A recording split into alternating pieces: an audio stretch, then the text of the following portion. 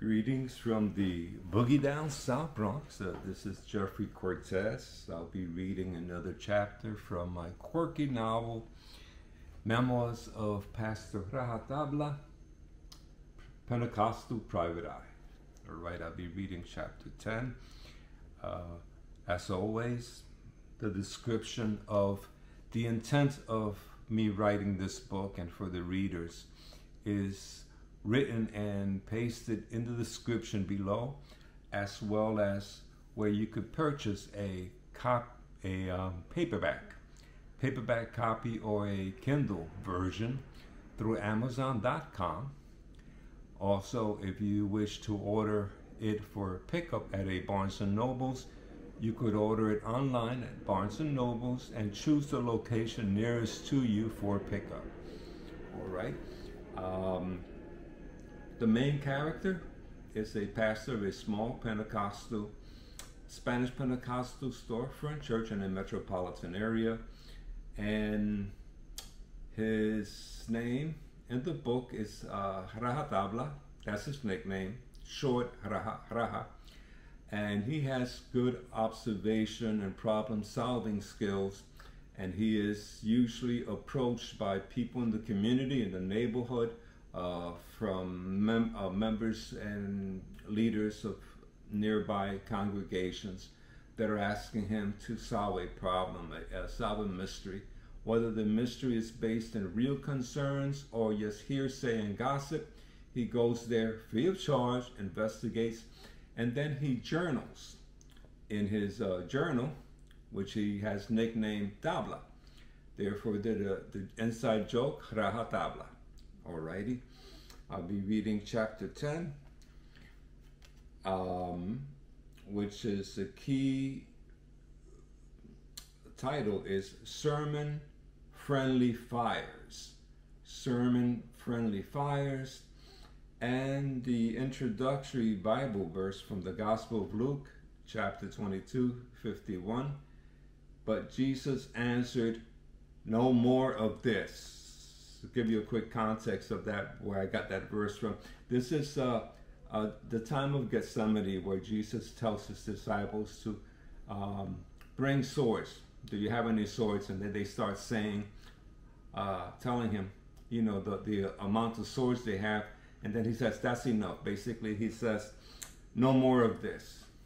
All right, so uh, so they're ready with their uh, side weapons or, whether it be for cutting bushes or, or, or making, for what, whatever reason it is, they have these uh, edged items.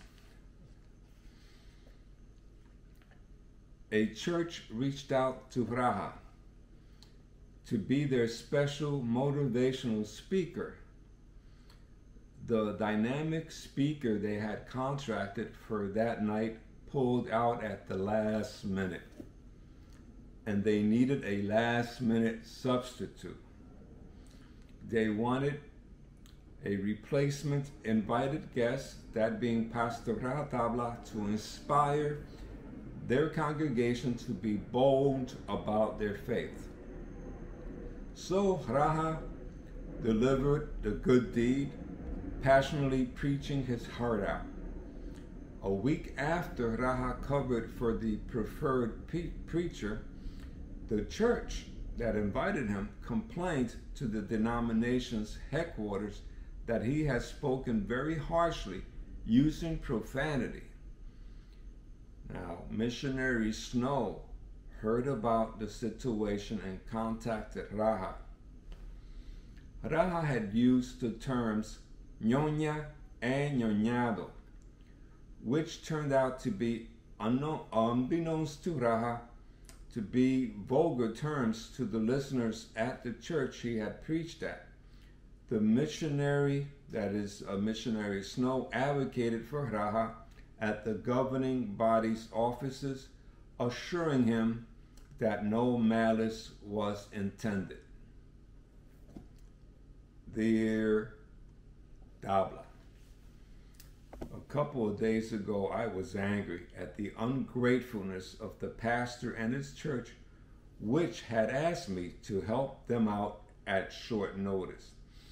Later, they accused me of being very vulgar from their pulpit. Apparently, the insincere pastor and his congregation did not really want to be encouraged and exhorted to live a more effective godly life for Christ.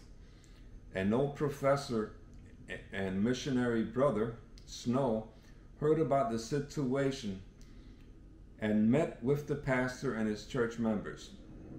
It turns out that in the household I was raised in, the Spanish terms ñoña and ñoñados were used in the less vulgar manner.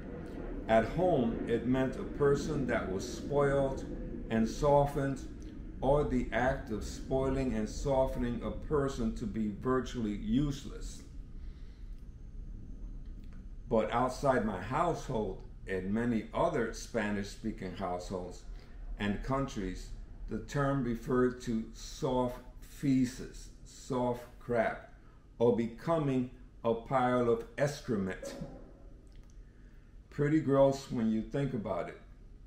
Anyways, this was explained to me, and the misunderstanding explained to the pastor in church. Thanks to Brother Snow intervention, there was much happy reconcil- uh, reconciliation. As I thanked my dear retired professor, he also thanked me for a past misunderstanding and intervention. When I was a Bible school student and intern at a church, missionary Professor Snow and his wife gave a presentation of their work in South America. As they gave a slideshow presentation, at one point there was a picture of Sister Snow holding a South American critter by the tail. She then announced through the speaker in Spanish, Here I am holding a critter. Unfortunately, the term for critter she used was bichos. Now, that term for her in South America would mean critter, but for Spanish speak the Spanish speaking audience she was doing the presentation for, it was a vulgar term for penis. So there was a shocked but understanding. So there I was, shocked but understanding what the misunderstanding would be and hoped that the audience understood. So while I looked at the congregants as they were looking at each other wide eyed, there was another slide that popped up. It was Brother Snow holding up two critters by the tails. I scrambled for a piece of paper and a pen to pass a note to Sister Snow, but it did not make it to her before she made the next announcement. There is my husband, Brother Snow, holding two bichos.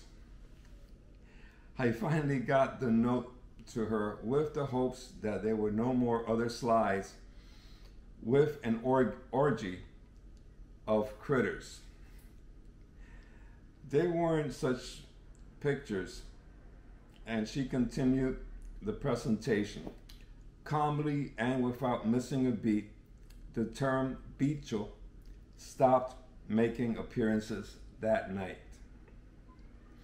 As I thanked Brother Snow we continued to re- reminisce about their time at the Bible college where I was a student and he a professor. We laughed over one memory. It was a Bible college where all students and faculty members were required to attend early morning chapel service prior to the school day's classes. The meeting consisted of corporate praying, singing, worshiping, and listening to a faculty member or visiting clergy deliver a sermon or word of inspiration. Brother Cornerstone, in his late 80s, was loved by all.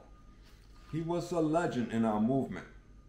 Although sometimes he would stumble across words, pause for clarity of thought, we all would respectfully wait, and he never disappointed us. It was his turn to speak this morning. he was telling us about the night Jesus was betrayed and how St. Peter took a sword and cut a Roman soldier's ear off. We were all tired and anxious over midterms. Brother Cornerstone suddenly misspoke when he got to the climax of the story when the soldier approached Jesus. And then one of them, one of the disciples, took out a concealed sword, swung it with all his might, and cut the soldier's Peter off. First, we were awakened and startled. Then we were all we all bursted out laughing, nearly peeing on ourselves. Brother Cornerstone lost his preaching composures and laughter. We were dismissed early that day, feeling less stressed about midterms exams. Bendición y bendiciones.